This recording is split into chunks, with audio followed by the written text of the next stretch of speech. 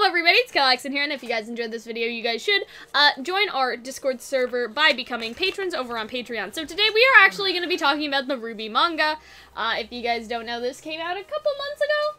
I've Well, had it in my room since like February. I, I've I read it. God, when did I read it? Uh, probably about a month and a half ago. Mm-hmm. I read it. Anyway, so I wanted to do sort of like a review of it, I guess. So I read it, I took some notes, I had some stuff that I wanted I to did talk read about. it, but I, I read it about pretty, a month and a half ago, and I didn't put notes. Well, I have notes for both of us. Right, so sweet. that's all right. Is that So the first time you've spoken for me? the start of the the manga has some like character profiles and a glossary, and I think that they did things really well. Like they cover Remnant, Aura, the Faunus, Dust. Like they make it seem like like hey, just in case you don't know, like here are some terms you have to you have Like to remember. imagine, like imagine if uh, at the beginning of if like they just didn't do the uh, Remnant reviewed or whatever fuck uh, World World, of Remnant. Remnant Remnant reviewed, and instead just like here's three pages out of a manga.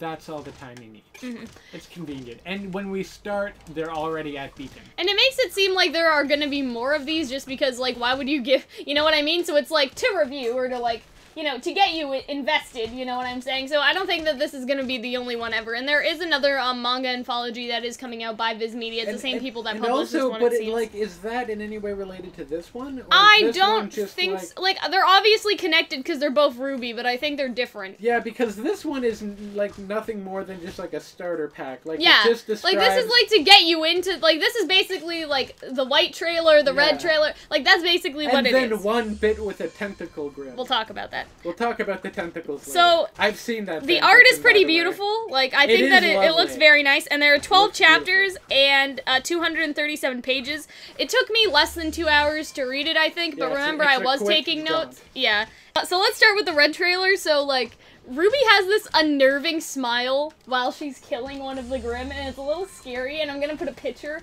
of it right here, uh, cause I cause I took a picture, obviously. And Obviously. Cardin looks better in this manga than in the actual show. He is also in this. So Ruby does the red trailer sort of as like a flashback or whatever, and then Cardin comes and throws Jaune across a table while uh, Team RWBY is talking about like dust or whatever, like for those it's people that like, weren't paying Cardin a attention. Yeah, It's but like Cardin looks great, which is weird. Like you know what I mean? Like he just I don't know. He looks Does he better look than he does in the show. handsome? No, he just he handsome looks better. I don't know how to explain it. Also, Glynda's here, and Glynda is a meddling bitch, and that's what I appreciate. Also, this is gonna be a spoilery review, by the way. If you guys want to read if it you've yourself. seen like the first. If you've seen the show, you've pretty much yeah. Um, but there are some cool things in here, and we'll get to that. So Glynda's kind of like, hey, if y'all want to fight, y'all should fight in the arena. And Ruby's like, what? And Cardin's like, what? And but like, Cardin you know, fights Jaune, I believe. no, no, no. He Oh, fights Ruby. Ruby. I mean, Ruby kicks his ass. Yeah, that's basically what happens. And that's so I love that about Glynda. Glynda's just like, hey, if you guys want to fight each other, because obviously they're getting at Cardin for bullying Jaune. Hey, let's do this in an appropriate way. And uh, you know, like I don't know, like I just think she's that- so funny. That Glynda believes that Ruby's gonna kick his ass, so it's just like I already know how this. Yeah, I think go. that was part of it, and This then Ozpin comes and he watches, right? Um, and so what I thought was sort of interesting about this was that you know Cardin sort of picks on Team RWBY for being Ozpin's favorite, and I'm like, that was something that never really happened in the show, and I would have loved to see that. That was a nice little addition that like that the other teams in the school like kind of have a have a sniffle, I suppose that you know like that Team RWBY is uh sort of, you know, Ozpin's uh pick pick Uh, me assholes. You know what I'm saying? It's like Anyway. student teacher pets. Yeah, I teacher's also pet. wish I also wish they showed Beacon as more of like a hostile, like competitive place. Well, I mean, I think that was part of it, right? If even team, because we thought, oh, Team RWBY's fine. It's just Jaune but they, getting bullied, But they right? don't show it. Rather, I should say, they don't show it as a hostile, competitive place in the show. And in the manga, you get a bit of an idea. Yeah, that's what I'm saying. Uh, and during the fight with Cardin, she also mentions how she wished she like she was a normal girl, and that's important for a couple things. So like this book or this manga, I should say, is sort of like about Ruby like coming to terms with the fact that she does want to become a huntress. Like she kind of flip flops in this book a little bit in the manga, um, and so that's also important for another video we did on why Ruby maybe hasn't acknowledged the Silver Eyes, and that's only like uh, echoed in the manga. It's like, oh, didn't I want to be a normal girl? Like, why am I doing this? But she Do does they still do the "You have silver eyes," which I find funny? They didn't because Ozpin's white? not really uh Oh. in here. oh yeah, he's more aloof. Yeah, he's. the We'll we'll talk? About that later. There's some think stuff I want to say about him making him more mysterious in Mhm. the manga than in the. Also, Roman is introduced at the end of the Cardin fight scene, and like he's he's all right. Like he's great as usual. My one complaint with this manga is they have Roman like with a character profile, but Roman doesn't do anything. And so we'll get to that in a minute. Uh, the next chapter starts with Child Weiss, and that's pretty cute. So I took a picture of that. Well, look at our boy. and it's about like her father's indifference to her and then the, the night fight. And what i really liked about this scene is first she was talking back to the secretary but we see how all of sort of the staff in weiss's house are against her too. Like it's not just her dad. Like her dad has paid these people to train her and make this impossible beatable Grimm so she'll fail and have to stay in atlas right? You see like the length to her father's manipulation and you also see child winter being like hey like weiss is pouting or whatever so she's like hey if you want to get out of here you can't just give up like that. That's kind of what she says right? And uh in the manga i thought what was interesting like she says that like she's not doing this for the Schnee family name because the secretary's like you're a Schnee what the fuck are you doing? Right? But she's saying that she wants to make herself proud and i think that's something that was sort of lost in the show a little bit. Like she i think she does mention it a little but like for the most part it was about like making sure that the Schnee family legacy wasn't ruined by her father but in this it's also talking about her as a person. So that was kind of nice uh, the other thing was Blake, uh, and I think that they handled the faunus discrimination scene better just because there's a page in the manga, and I'll show that to you guys. I don't know. I just thought that that was a nice little improvement, uh, so I took a picture of it. And you also have like a younger uh, version of Blake here. And Adam says for her to come with him and take back her dignity.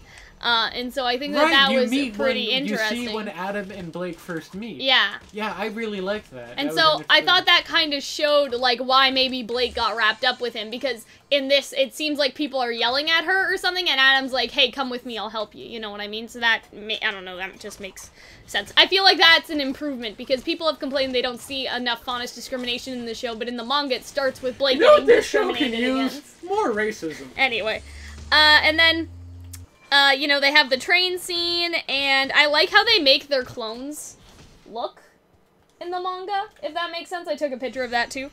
And the fight was great as all. Like, I don't know how I'm supposed to review a fight in the manga. You know what I It mean? it looked really great. pretty. Like, what else am I supposed to say? Like, Like, you I get know. you get a great idea for the energy and the movement. Yeah, And like that that's a good even thing to say. no, and no matter like the shot, I feel like the the the drugs get more detailed in the fighting scenes, and I Yeah. just, I just really enjoy it.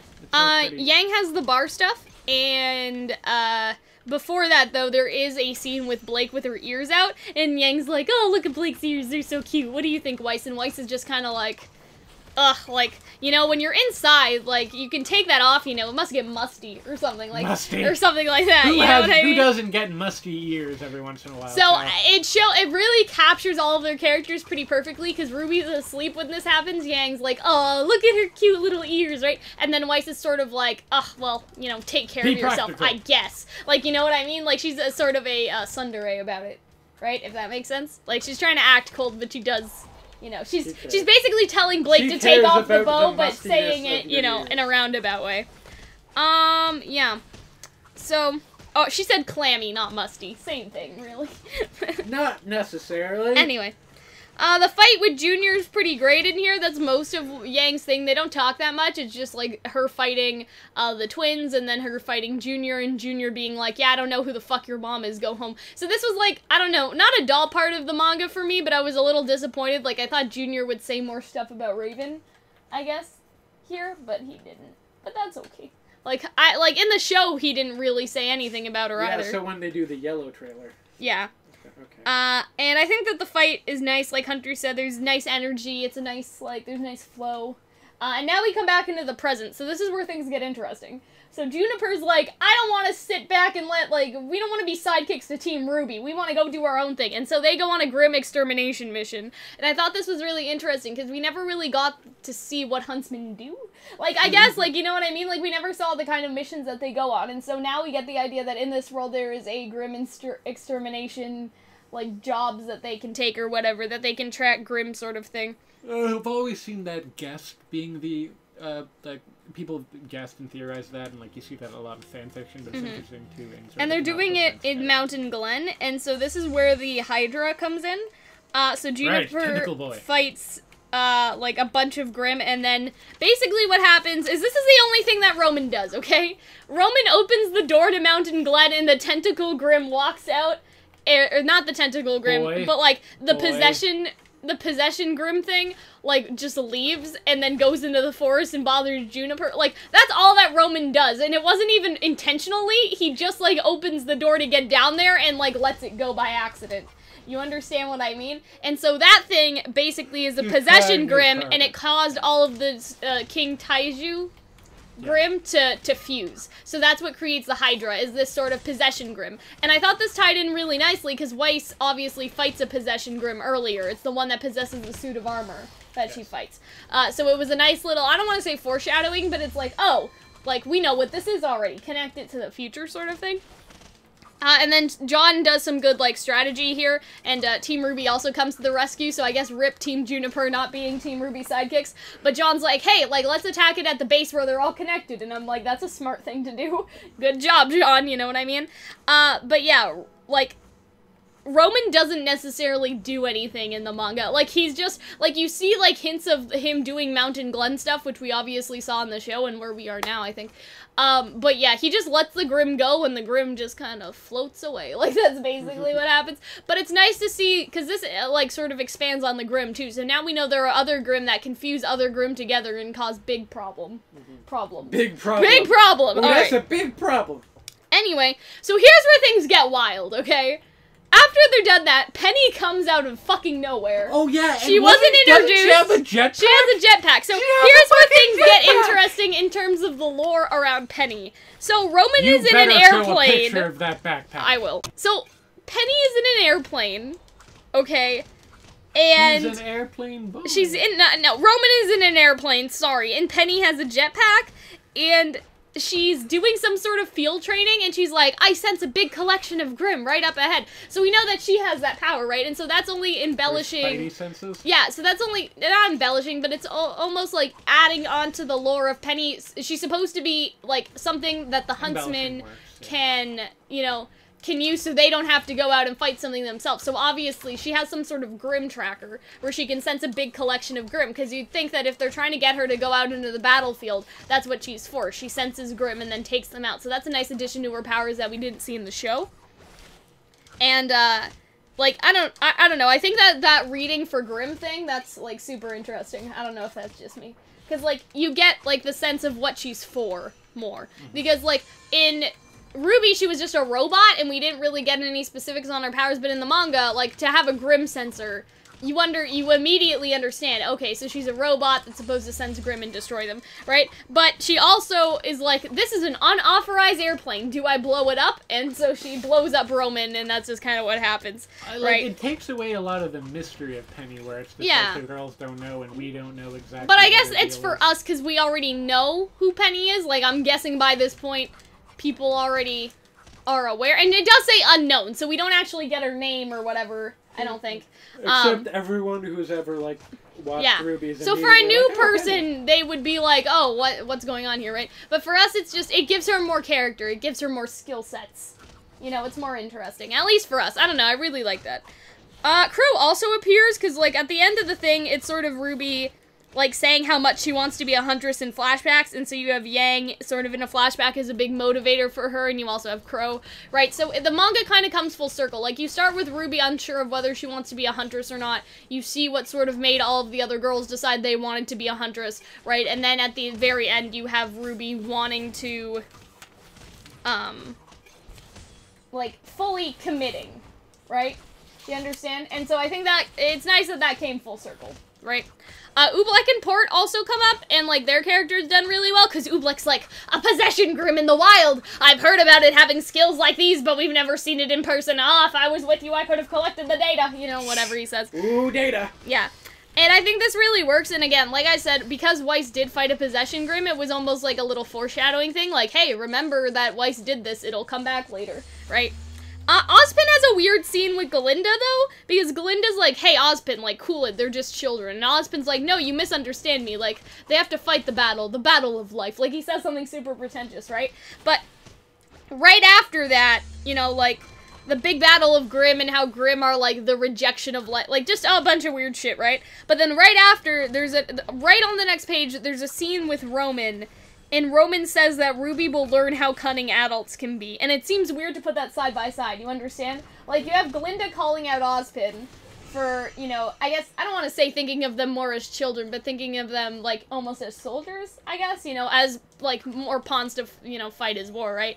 And then you have Roman like, oh, don't worry, Ruby, you'll see how cunning adults can be. Like to have that juxtaposed next to each other, like it almost seems like he's talking about Ozpin. Like obviously he means himself, but to have that, you you understand what I mean, right? Mm-hmm.